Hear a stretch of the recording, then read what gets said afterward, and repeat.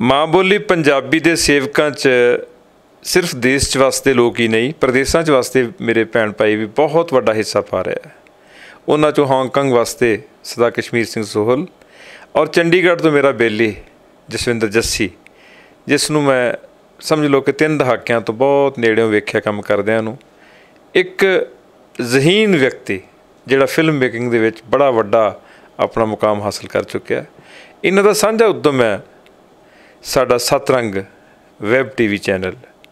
ਇਹ TV channel ਇੱਕ ਸੁਪਨੇ ਦਾ ਨਾਂ ਆ। ਉਹਨਾਂ ਲੋਕਾਂ ਦੇ ਸੁਪਨੇ ਦਾ ਨਾਂ ਆ, ਜਿਨ੍ਹਾਂ ਕੋਲੇ ਸਾਧਨ ਵੱਡੇ ਚੈਨਲ, ਸੈਟਲਾਈਟ ਚੈਨਲ ਚਲਾਉਣ ਵਾਲੇ ਭਾਵੇਂ ਨਹੀਂ ਹਨ, ਪਰ ਜਿਨ੍ਹਾਂ ਦੀ ਉਡਾਨ ਬੜੀ ਉੱਚੀ ਹੈ। ਟੀਵੀ ਚੈਨਲ ਸਤਰੰਗ, ਨਾਲ ਮੇਰਾ ਯਾਰ ਸ਼ਮਸ਼ੀਰ ਸਿੰਘ ਸੰਧੂ ਵੀ ਸਹਿਯੋਗੀ ਹੈ। ਬਾਲਮੁਕੰਦ ਸ਼ਰਮਾ ਵੀ ਸਹਿਯੋਗੀ ਹੈ, ਜਸਵਿੰਦਰ ਭੱਲਾ ਵੀ ਸਹਿਯੋਗੀ ਹੈ। ਕਿਹੜਾ ਸਹਿਯੋਗੀ ਨਹੀਂ? ਜੱਸੀ ਜਿਹਨੂੰ ਮੁਹੱਬਤ ਨਾਲ ਇੱਕ ਵਾਰੀ ਕਹਿ ਦੇਵੇ, ਨਾ ਹੀ ਕੋਈ ਨਹੀਂ ਕਰਦਾ। ਸੋ ਕਸ਼ਮੀਰ ਸਿੰਘ ਸੋਹਲ ਦਾ, ਜਸਵਿੰਦਰ ਜੱਸੀ ਦਾ ਸੱਚ ਜਾਣਿਓ, ਮੈਂ ਰੋਮ ਰੋਮ ਕਰਜ਼ਦਾਰ ਹਾਂ, ਜਿਨ੍ਹਾਂ ਨੇ ਮੇਰੇ ਘਰ ਆ ਕੇ ਅੱਜ ਮੈਨੂੰ ਆਪਣੇ ਚੈਨਲ ਬਾਰੇ ਜਾਣਕਾਰੀ ਦਿੱਤੀ, ਔਰ ਨਾਲ ਦੀ ਨਾਲ ਮੇਰੀ ਇੱਕ ਨਜ਼ਮ ਨੂੰ ਮੇਰੇ ਉਹਨਾਂ ਮੁਹੱਬਤੀ ਪਿਆਰਿਆਂ ਤੱਕ ਪਹੁੰਚਾਉਣ ਦੀ ਕੋਸ਼ਿਸ਼ ਕੀਤੀ ਹੈ ਰਿਕਾਰਡ ਕਰਕੇ, ਜਿਨ੍ਹਾਂ ਨੂੰ ਮੈਂ ਜ਼ਿੰਦਗੀ ਸ਼ਾਇਦ ਕਦੇ ਵੀ ਨਹੀਂ ਮਿਲਿਆ ਤੇ ਨਾ ਸ਼ਾਇਦ ਕਦੇ ਮਿਲ ਸਕਾਂ।